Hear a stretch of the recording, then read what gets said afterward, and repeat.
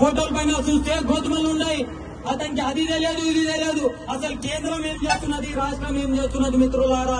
ఈ రోజు వాళ్ళు వాళ్ళు వెంకటి మాట చెప్పిండ్రు. ఆ ఏడ్చే ఆడదిని నమ్మరాదు నగే మొగనికి నమ్మరాదని. ఈ రోజు రాష్ట్రంలో ఉన్న కేంద్ర కేంద్ర రాష్ట్ర ప్రభుత్వాలే ఈ రోజు ధర్నా దిగితే మనం ఏం చేయాలి? ఆలోచన చేయండి. వెనుకటికి ప్రతిపక్షంలో ధర్నాలు చేస్తుండ్రి. కానీ ఇది విచిత్రమైన కథ.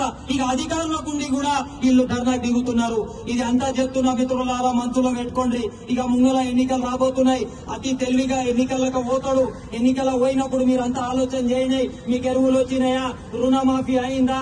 కరెంట్ ఇరవై నాలుగు గంటలు వచ్చిందా? మీకు ఎల్లకాలం డిఏపి యూరియా దొరికిందా? మీకు రైతులకు ఏ ఏ రకంగా సహకారం చేసిందో మళ్ళీ మీకున్న అది ఆరోగ్యశ్రీ కార్డు పైన ఎంత అమలు చేసిండు?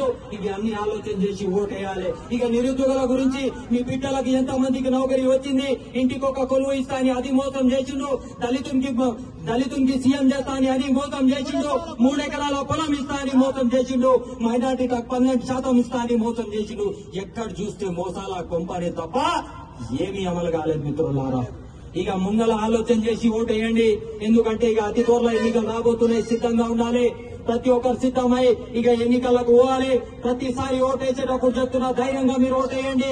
కాంగ్రెస్ పార్టీ రైతులకు ఎలా కాలం తోడుంటారని నేను ఈ హైదరాబాద్ నుంచి ఢిల్లీకి వనికి ఆరు నుంచి ఏడు వేలు అయితే మిత్రులారా. ఐదు వేల మందికి నువ్వు ఈ రోజు ఢిల్లీకి తీసుకోపోయి ఆడ ఏం సమ్మర్ హాలిడేస్ చేసుకుని వచ్చినావో మాకు తెలియదు. ఆ? నువ్వు సమ్మర్ హాలిడేస్ చేసుకొని వచ్చినావు ఐదు వేల మందికి ప్లేట్లలో తీసుకుపోయి ఢిల్లీలో సమ్మరాలు చేసుకొని వచ్చి ఈ రోజు మేము ధర్నా చేసినాం మీరు చేస్తున్న నాటకాలు ఇక చలవు. ఇక ఇంకోటి బండాన బండాన అంటాడు ఇక మేము ఎరువులు కొనే అది